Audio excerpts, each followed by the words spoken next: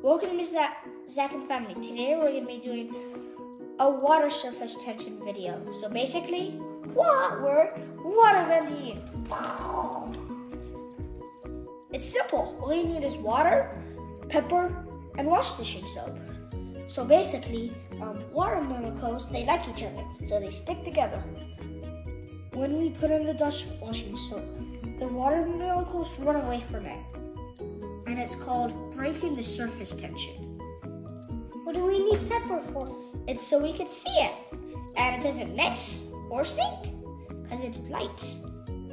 Okay, now let's put in some pepper.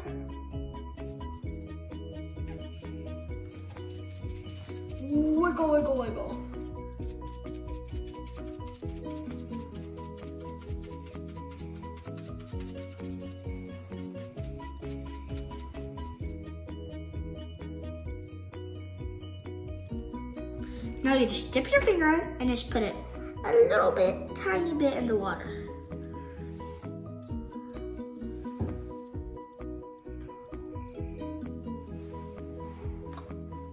Magic.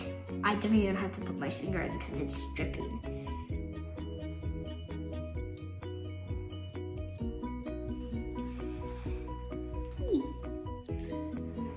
You just witnessed water fingers. Why? With help of science, so those are the water fingers though. Mm-hmm. That's it for today. See you next time. Bye. And remember to leave a like and subscribe. Peace out. Woo! Bye. Dare to do it again.